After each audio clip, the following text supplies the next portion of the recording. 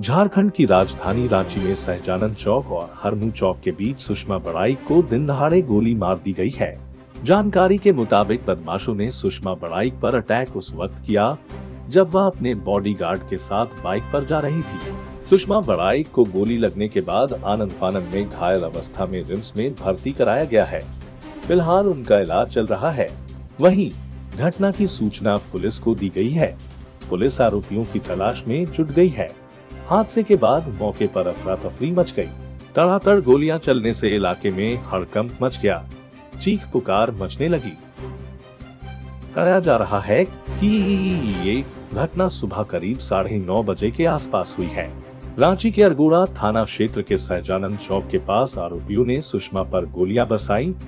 वारदात को अंजाम देने के बाद आरोपी मौके से फरार हो गए। पुलिस आरोपियों की तलाश के लिए वारदात के आसपास लगे सीसीटीवी फुटेज खंगाल रही है। सुषमा बड़ाई के पीएस नटराजन पर केस के बाद चर्चा में आई थी। इस केस में पीएस नटराजन को बर्खास्त कर दिया गया था। जब आईपीएस नटराजन का केस उजागर हुआ था, तब भारी हंगामा हुआ था। सुषमा बड़ाइक अपने पिता के घर से बॉडीगार्ड के साथ टू व्हीलर से लौट रही थी। रहा है कि बॉडीगार्ड टू व्हीलर चला रहा था। इसी दौरान घटना को अंजाम दिया गया। राजधानी रांची में अपराधियों के हौसले बुलंद हैं।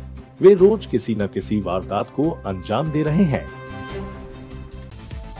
अपने राज्य से जुड़ी हर ताज़ा खबरों के लिए आप हमें सब्सक्राइब करें, साथ ही बेल आइकन बटन दबाना ना भूलें।